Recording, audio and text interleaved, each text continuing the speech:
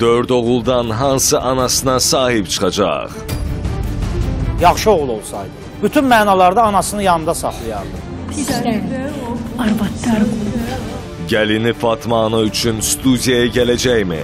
Mənim ona canım qurban. O övladlarından aliment almaq üçün məhkəməyə müraciət edəcəkmi? Qorxu içində yaşayan göyərçinin dərdinə çarə tapılacaqmı? Deyir ki, yer yarılır, yerdən maqnit çıxır, göydən də maqnit gəlir. Onun gözünə həqiqətənmi ilanlar görünür? Evdə yatanda başımın üstündə kobra yatmışdım. İndi burada da gördüm. Mütəxəssislər onun haqqında nə deyəcək? 5 ildir anasının üzünə əsrət qalan Firuzə. Ananı baladan ayıran kimdir? Bugün bizə danışdı.